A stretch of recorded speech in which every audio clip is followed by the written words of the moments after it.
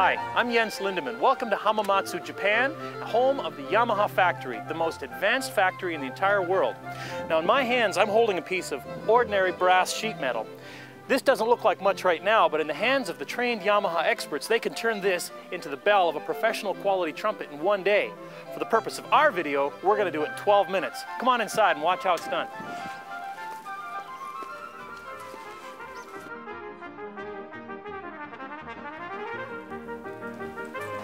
The Yamaha factory, there's a great deal of work that goes into designing and finally building a trumpet. It involves a whole bunch of people that work here that are very, very smart and very talented. I am not one of those people.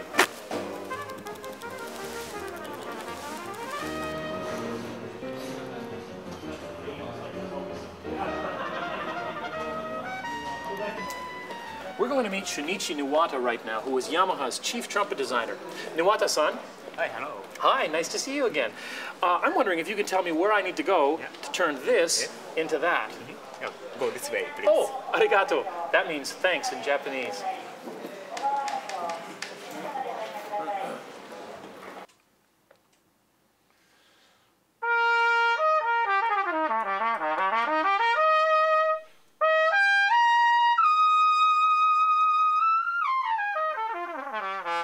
I liked it better the first time. Are we still on camera? Oh, I didn't know you guys were here. The next step in our bell making process is that we've drawn the outline of a trumpet bell on the brass sheet. What I'm going to do is cut this bell out and then we're going to finish the process a little later down the line. So you can see they've given me a, a, a helping hand to start with. Let's see where we go from here.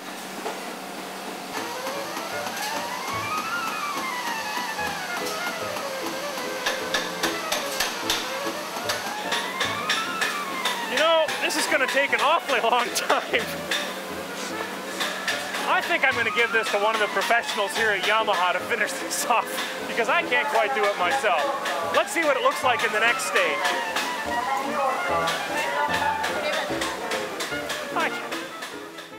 Um, I first started playing the trumpet because I wanted to be a drummer. And you had to pick the trumpet or the clarinet in junior high band, and the best musicians could decide after two weeks if they wanted to be trumpet players. Um, I was dead last out of 20 trumpet players in the test, and I wanted to quit. But my mother said, You'll have to play for one year, and at the end of the year, you can decide if you want to quit or not. By the end of the year, I was hooked. This is Mr. Matsuura-san, who is going to take the piece of metal and bend it and hammer it around this iron rod at this station. This, my friends, is where the art begins.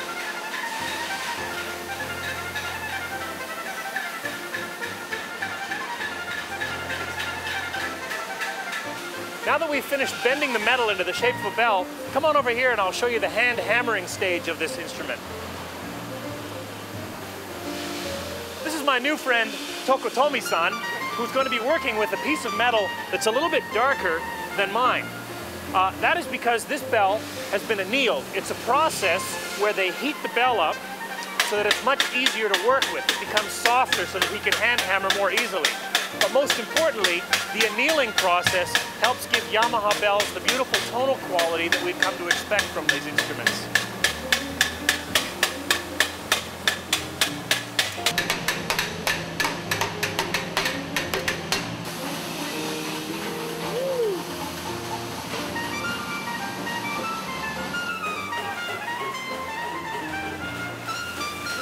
Mr. Nakajima here has a very important job at Yamaha. He places the bell of every trumpet on top of this mandrel and then ensures that the exact thickness for the bell material is attained so that you have a perfect Xeno trumpet. Yoshikambaro, Mr. Nakajima. That means go for it in Japanese.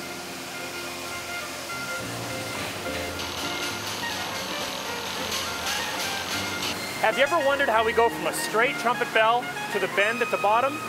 Well, Mr. Nakagawa has a very important job at Yamaha. He pours a metal down the end of the bell, which then solidifies, but is very malleable. It bends quite easily. And that will allow him to work with this machine and bend it into the shape that we're used to seeing. Now, he's able to bend the bell of the instrument right here without snapping the metal. Very effective.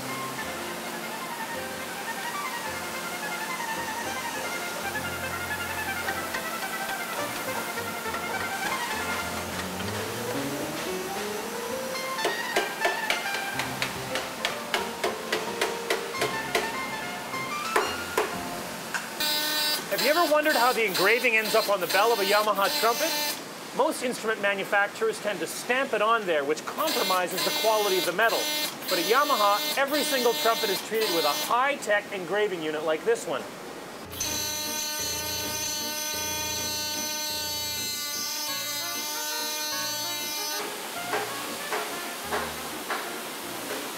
Now here we have an example of fantastic 21st century technology.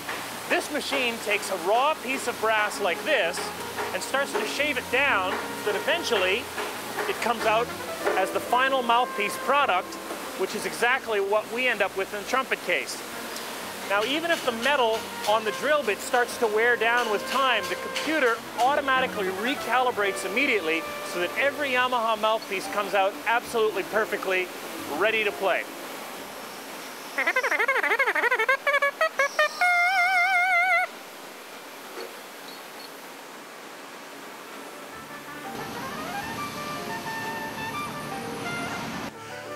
going to enter Yamaha's custom shop, where prototype instruments are built, as well as the occasional custom order.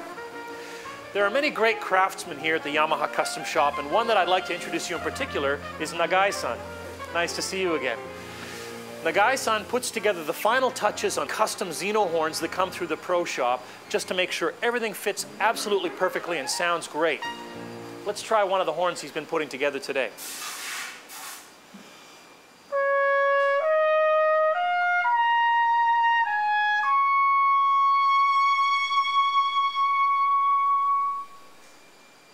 That feels like a great trumpet, believe me. Once in a while, the great designers at Yamaha just like to build things for fun. As you can see, clearly, this is not a normal sized instrument. Let's see what it sounds like.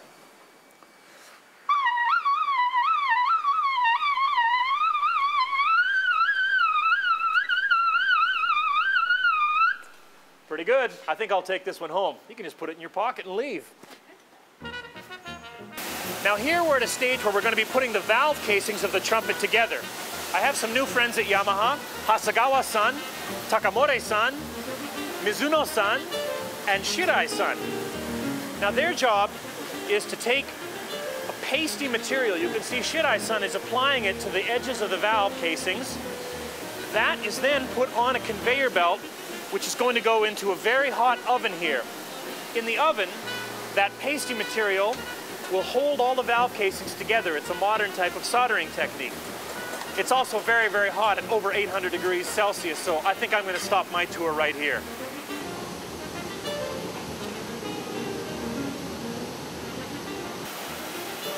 Now here you can see Mr. Takahashi is putting together valve casings with two types of material.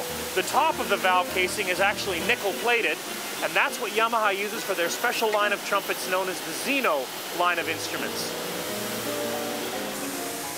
Now here we have the final assembly line for Yamaha's professional model of trumpet known as the Xeno. You can see it's stamped right here on the bell, X-E-N-O. Let's have a look at the work that the folks are doing here. Parts are precision made for a perfect fit.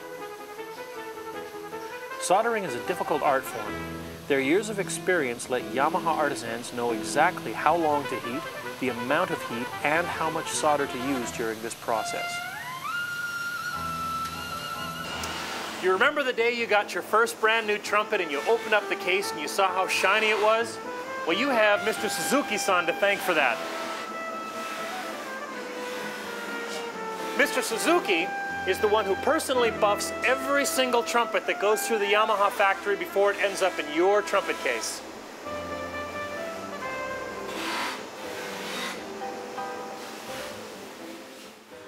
One of the great things that I've noticed in, since playing Yamahas in high school is that there has been a natural evolution uh, of the horns themselves over the years. I've been fortunate to get to work with some specific designers of the trumpets and watch literally how the horns have grown from very good professional models to uh, the kinds of horns that they are now, which are even better professional models. And uh, the consistency is absolutely impeccable. Now here we're going to show you how the raw brass instrument which is highly buffed already, is dipped into this liquid and passes around a conveyor belt. It's a two-hour process, which then results in a finished lacquered instrument. It's not the kind of bath you want to take, trust me. Yamaha uses high-tech electrostatic lacquering to ensure a perfect finish. The trumpets enter a room filled with a vapor of lacquer. A charge of static electricity passes through the trumpets, attracting an even coat of durable lacquer. Good silver plating is difficult. Yamaha does their own silver plating using the latest technology. Yamaha Silver Finish has been specially designed just for wind instruments. Now the final stages of putting a trumpet together here in Japan have to do with some very important people at the end of the production line. Here we have Sakai-san, Yamada-san, and Suzuki-san. Now their job is to take all the little bits of tubing to make sure that everything fits very, very well. The final station is over here with Yamashita-san, who checks to make sure that every one of these parts fits beautifully into the trumpet so that you end up with another perfect horn.